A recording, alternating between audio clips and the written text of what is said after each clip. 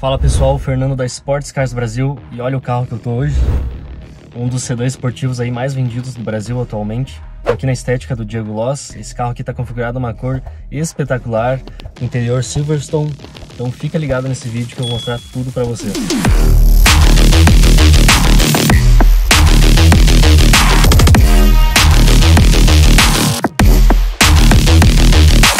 E essa é a nova M3 Competition 2022, configurada aí na cor vermelho Toronto, com o interior Silverstone. Eu vou mostrar tudo para vocês em detalhes. E olha a frente desse carro, foi muito polêmica quando lançou essa grade. Uh, confesso que até quando lançou achei um pouco estranho, mas olhando pessoalmente é bem impressionante. Olha as curvas do carro, é muito bacana.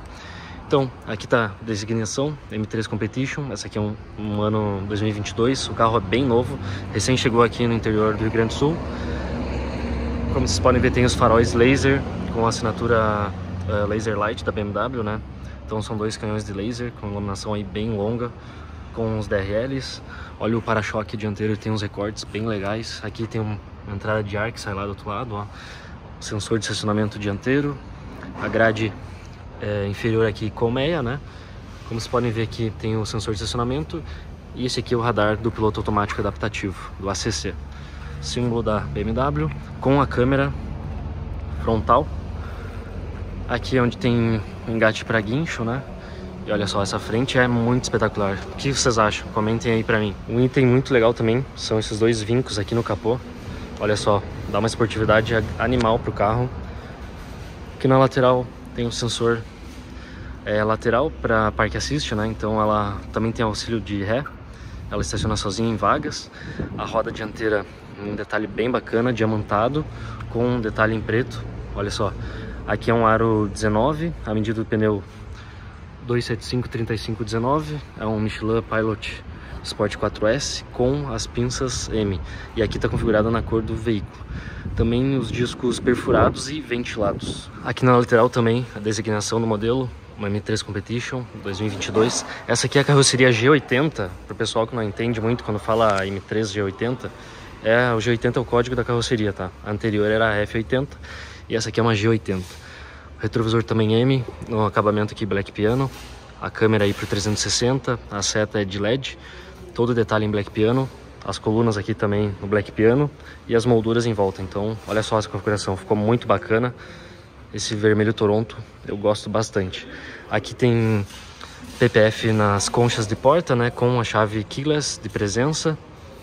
E olha só, a roda traseira também o mesmo detalhe da dianteira, porém aqui era o 20, então esse carro é igual ao 911, na dianteira é 19, na traseira 20. É uma roda M, né? Muito massa. O medida do pneu 285 30 20 olha só e a largura? Deixa eu ver se eu consigo mostrar aqui para vocês. Mas é um carro que tem é, a lateral muito larga olha só. Talvez aqui eu consiga mostrar no vídeo mas pessoalmente dá para ver que o carro é bem largo é muito legal aqui então tem outro sensor traseiro para ela fazer a medida da vaga para saber é, manobrar sozinho né ela estaciona sozinho e olha essa traseira Lembra muito da 320 M Sport, porém a 320 não tem esse difusor nem essas quatro saídas de escape, né? Olha isso. Vou mostrar um pouco mais abaixo. Então aqui tem essa diferença do difusor com as quatro saídas de escape. É um carro muito bonito, olha só a largura dele. Tem os sensores traseiros, também aqui tem a câmera de ré com iluminação de placa em LED. O detalhe da lanterna traseira é full LED com escurecido dentro, né? Então é muito legal. Ela tem também é, esse spoiler em black piano.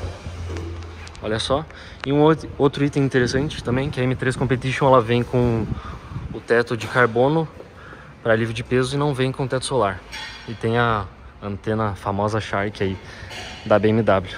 Mas olha só. O valor da M3 Competition 2022 é em torno dos 800 mil reais, conforme a configuração e o mercado, né? E aqui é o famoso S58, esse cofre do motor é belíssimo. O motor aí 3.0, 6 cilindros em linha com a tecnologia Twin Power Turbo, geram 510 cavalos e 67 kg forçamento de torque. Esse carro aqui 0 a 100 3.9 original, é um carro que pesa 1.730 kg aproximadamente. E o câmbio, um ZF8 com a calibração da BMW, então é muito rápido, muito bem calibrado.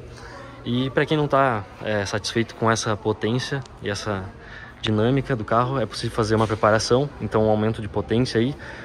A ECU desse carro que comanda o motor é bloqueada, mas tem solução. Eu recomendo o pessoal da Pit Stop Shop. É possível fazer estágio 2, então é um pigback, que vai alterar os parâmetros aí da ECU, mid pipe, down pipe, para mexer no escapamento e um filtro esportivo. Esse carro aí dá para deixar com 660 cavalos e 85 kg força-metro de torque. Imagina isso com um motor é, frontal e uma tração traseira. Vira um monstro.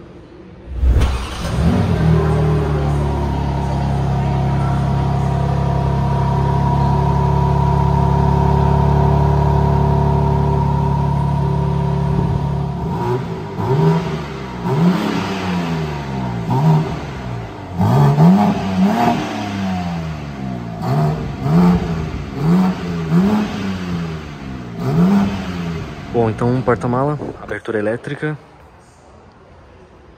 Olha só o acabamento BMW, muito bem feito. É bem espaçoso. Tem mais dois porta-objetos laterais, aqui algumas ferramentas. Esse carro não tem step e aqui abaixo fica a bateria. Fechamento consigo fazer por aqui. Olha só. E vou mostrar um pouco do interior agora que é espetacular. Então, esse é o interior Silverstone é um branco claro, assim, um giz praticamente com preto no interno, né? E olha só, tudo soft touch com as costuras em cinza. Tem som Harman Kardon assinado, tem iluminação ambiente que eu vou mostrar depois na multimídia para vocês. Olha só as maçanetas. Porta copos aqui, né? Iluminação nos pés. Olha esses bancos. Depois eu vou mostrar para vocês, ele tem até a iluminação ali da designação M3. Os alto-falantes traseiros, todo forro de teto preto saída de ar traseira aqui com dois USB-C. Então o carro aí também tem Isofix para cadeirinha, né? Um carro bem completo. Dá uma olhada no interior da M3 Competition 2022.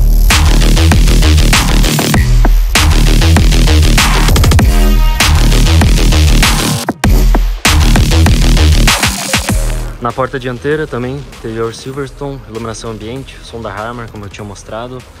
É, aqui designação M3 Competition. O carro ainda está sujo porque não foi totalmente limpo, mas já vou mostrar tudo para vocês.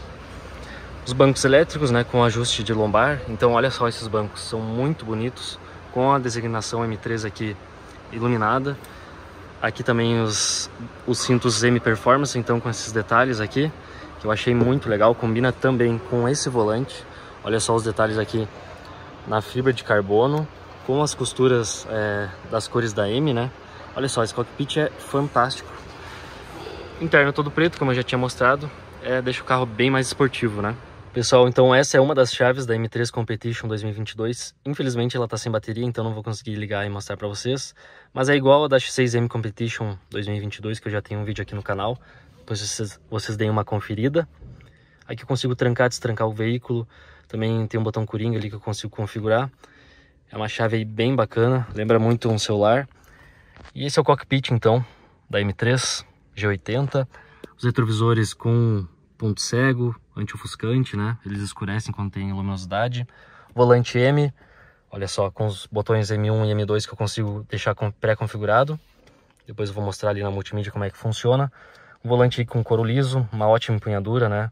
o airbag aqui costurado em couro, muito legal. Aqui eu tenho todos os controles do piloto automático adaptativo, que eu mostrei ali na grade. Aqui controle do som. Olha os pedal shifts também em carbono, ali com o menos em vermelho e o mais em vermelho ali. É um volante assim muito esportivo, muito bacana.